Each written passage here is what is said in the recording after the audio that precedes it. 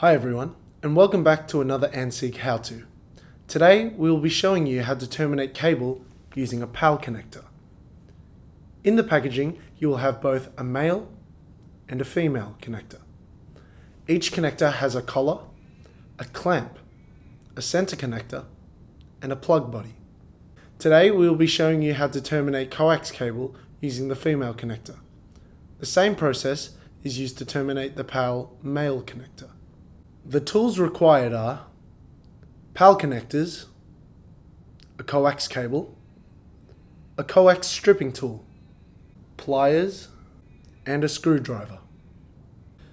First unscrew all the parts of the connector, like so. Prepare the cable using a coax stripping tool. Place the tool onto the cable, like so. Rotate around and remove the tool. Remove the sections of the PVC to expose the core conductor. For this connection, you can also strip the white inner PVC to show the same length as the black PVC.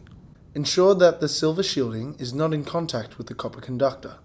Next, measure and trim the core conductor so it does not extend past the center connector, like so.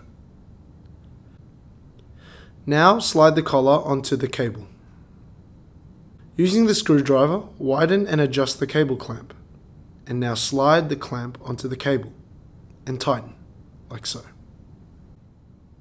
Now loosen the Phillips screw on the center connector until the core conductor of the cable slots in.